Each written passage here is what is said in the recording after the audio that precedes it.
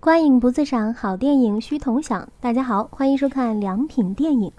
某天早上，头疼欲裂的郑浩被急促的敲门声吵醒，开门一看，是附近警局的警卫老崔。正在疑惑之时，老崔一脸严肃地告知郑浩，他分居的妻子美英在昨天晚上遇害身亡。郑浩瞬间从宿醉中清醒了不少。随后，老崔开始询问郑浩昨晚是否有不在场证明。原本这只不过是例行公务，可是老崔意外地发现郑浩手上沾有鲜血，而且衬衫上也布满了血迹。郑浩连忙解释，这都是误会，这些不是血。昨晚我在跟朴真树一起喝酒，这边解释还准备拿起手机拨打给朴真树证明，却意外翻出一把带血迹的匕首，这更让郑浩跳入黄河也洗不清了。警察也发现事态不对。掏出手铐，想要将他带回去调查。郑浩不想就这样不明不白的被警察带走，于是郑浩用平底锅将老崔敲晕，拿上钱包和外套，就头也不回的逃出了家。对于昨晚的自己到底做了什么，郑浩也一无所知，因为他三十岁醉酒后经常断片儿，就不清楚昨天晚上发生了什么。是否真的是自己亲手杀死了自己的妻子？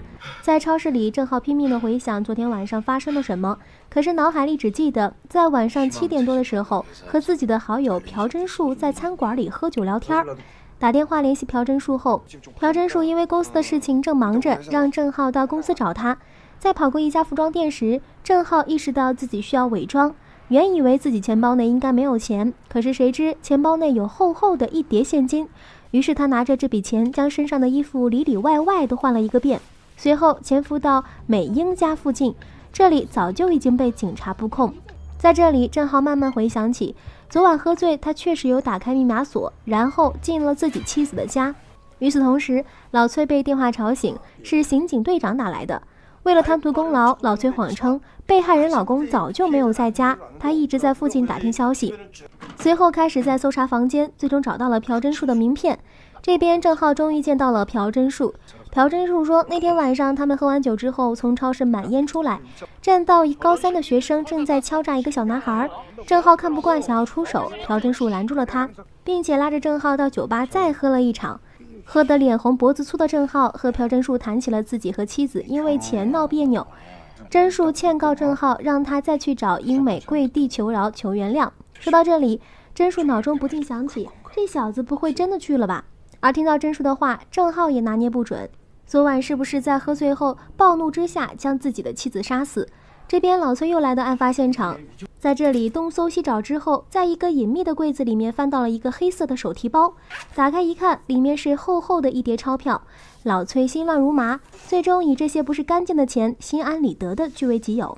在出租车上，郑浩终于回想起一点，他昨晚确实有去找过美英，但是美英见喝得大醉的郑浩抱怨了几句，郑浩不知道当时自己有没有立刻出去，于是他又来到了昨晚喝酒的那个酒吧。酒吧女服务员不知为何看到郑浩非常热情，可是郑浩却一脸懵，因为他根本不记得昨天晚上在这里发生了什么。于是酒吧小妹将昨天晚上发生的事情完完整整的说了出来。昨晚郑浩和甄树喝完酒之后，在酒吧里比赛飞镖，甄树输了很多钱，郑浩非常得意，但其实只不过是甄树故意输给郑浩的。和小妹结识的缘由是有两个客人借着酒劲儿想要欺负小妹，其他人都袖手旁观。郑浩看不下去了，为小妹出了头。小妹非常感谢。这边警察已经找上了甄树，他说郑浩欠了一些高利贷。作为朋友，甄树偶尔会请郑浩吃饭喝酒，鼓励他重新振作起来。谁知道郑浩却意志消沉，最终英美和他分居。所以老崔让另外一名警察先去昨天他们去的酒吧，他随后就到。在郑浩和小妹聊天时，警察来到这个酒吧。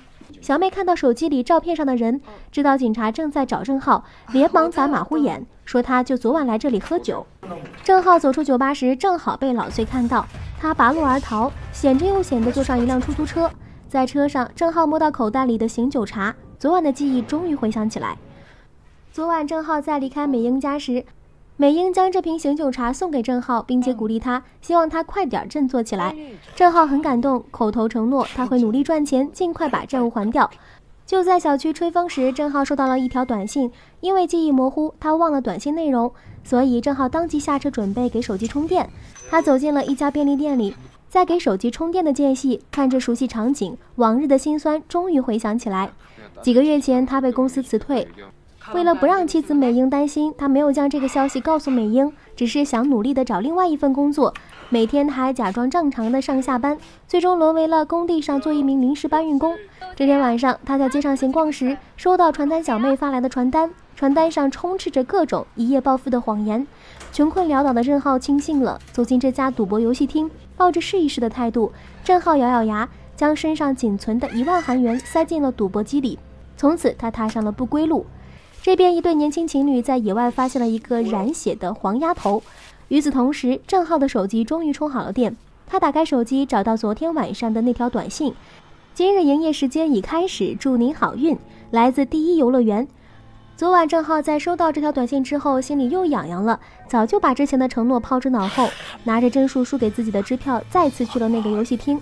而且当初他欠下高利债的债主就是金市长，金市长就是利用郑浩这类企图一夜暴富的赌徒，然后布局，如果对方没钱还债，就会强行砍断他的手脚，这样他们就可以用高额保险金还债了，可谓是最毒妇人心。想到这里，郑浩打电话联系了真树。将昨晚金市长可能去过美英家的推测告诉了他，而且希望他能够将这个消息汇报给警察。真树希望郑浩立刻去警察坦白一切，郑浩则不然，他想要找到自己不在场证明。警察这边找到了美英的通话记录，发现美英的最后一则通话是打给 KTV 的。在老崔的逼问之下，老板这才老老实实的交代，昨晚在郑浩走后，KTV 老板打电话过来通知美英接客。原来为了给郑浩还债。美英听从了金市长的安排，在 KTV 里当了一名陪酒小姐。听到这里，老崔对金市长产生了怀疑，再加上另外一名警察的汇报，金市长也有重大作案嫌疑。郑浩刚到游戏厅，就被闻讯赶来的金市长喷倒在地。在被打手痛击头部之后，郑浩终于想起了在游戏厅发生的事情。短短半个小时，郑浩就将甄叔叔给他的支票全部输完了。可是输红了眼，郑浩还要将醒酒茶换成游戏币。这个时候，金市长走进游戏厅，还不设防地将钱包放置在桌子上。此时的郑浩眼中只剩下桌子上鼓鼓的钱包，脑子一热，也不管其他后果，拿起钱包后就冲出了游戏厅。后来还与金市长的打手大打出手，在打的过程中，郑浩抢走了打手的匕首，身上还不小心沾到了对方的血。昨晚出去陪酒的美英，在得知三位客人都是高中生时，将其汇报给老板。老板知道法律有严令禁止，不能将酒售卖给未成年。三位高中混混被老板赶走，高中生在走时还骂骂咧咧。屋内，郑浩努力挣脱掉绳子。屋外，警察正在蹲点，就等金市长负责手术的黄先生过来。郑浩拿着一块玻璃碎片，趁金市长不备扎在后背上，随后跑进屋子，想要趁机逃跑，却被打手一棍子抡倒在地。就在金市长准备结束郑浩性命时，警察赶到，将金市长一伙全部抓获归案。与此同时，昨晚那三个高中生混混也被抓捕归案。在警局，老崔找到郑浩，说早上在美英家里找到了一个手提包。郑浩一听，连忙解释：“我昨天晚上喝得太醉，不小心从游戏厅拿出来的。”老崔一听有戏，连忙威胁道：“反正事情已经水落石出，如果又牵扯到抢劫事件，会让事情更加复杂，不如让我代为保管。”郑浩有苦说不出，只好点头答应。两人尴尬之际，警察传唤了郑浩，将三名高中生的审问结果讲了出来。